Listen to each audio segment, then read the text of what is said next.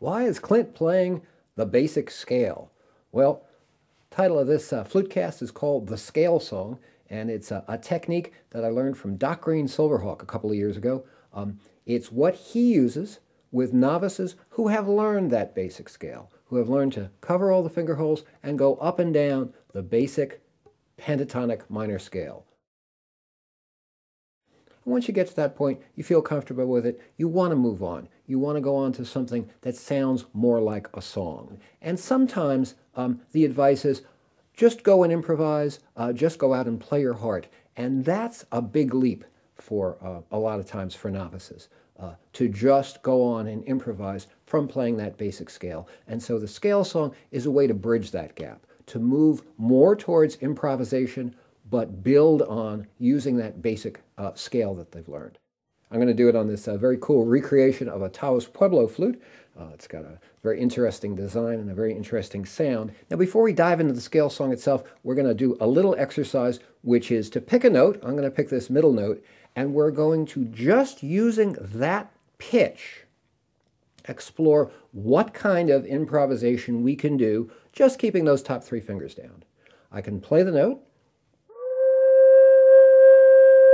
I can add vibrato.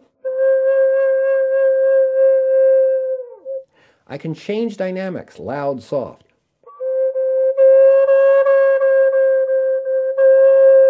Notice I'm also using articulation, ta, ta, ta. I can use different articulations like ka and ra, or ha, even softer.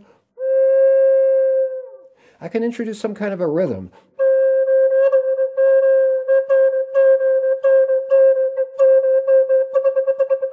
Taka, taka, taka. Double tonguing. I can include silence.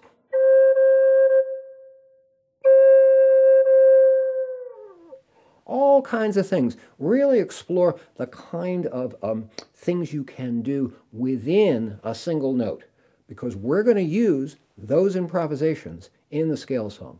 The rule of the scale song is simple. Play the scale up and down. When you get to the top, reverse directions and go back down. When you get to the bottom, reverse directions and come back up. And keep going.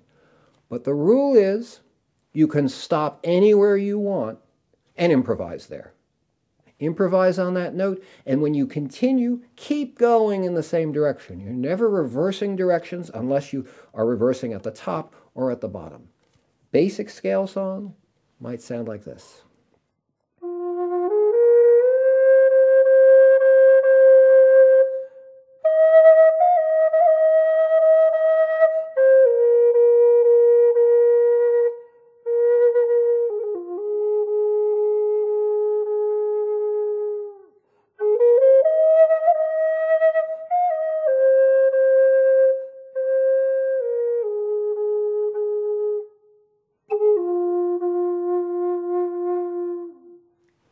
Notice it begins to sound like an actual song. And the only thing you're asking uh, new students to do is stop anywhere they want and do whatever they want and then keep on going. They're comfortable with it because they're just playing the scale with an occasional pause to do something. And all of a sudden, the listeners aren't hearing the simple scale going up and down. They're hearing what sounds like a song. And it really is inspiring. It really moves uh, new players and novice players forward very quickly.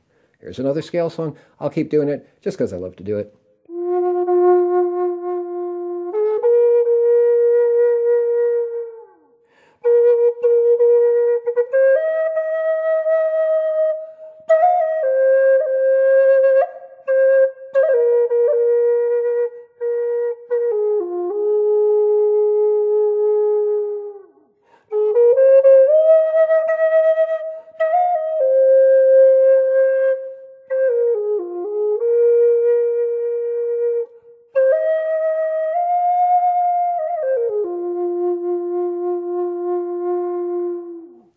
That's it for the scale song. I hope you can uh, put that to good use, uh, use it in your music, uh, use it when you're teaching, uh, and use it uh, in all the circles you can uh, to help new players access their musicality without getting too complicated or without asking too much of them. And as always, I hope you can join us down the road at some festival, some flute school, some uh, flute circle, some flute retreat, or a workshop uh, that Vera and I lead, uh, we hope to see you in the future.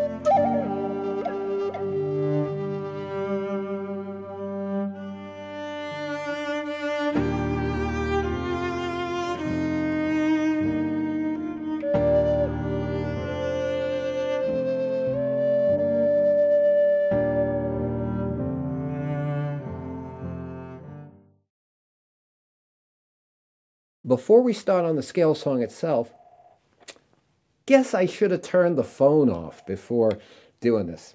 Ah, hang on. Well, let's just let it run. Come on. Okay, let me turn off the phone. I'll be right back. Don't go away.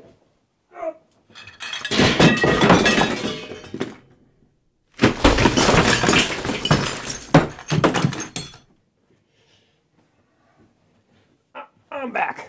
Where were we?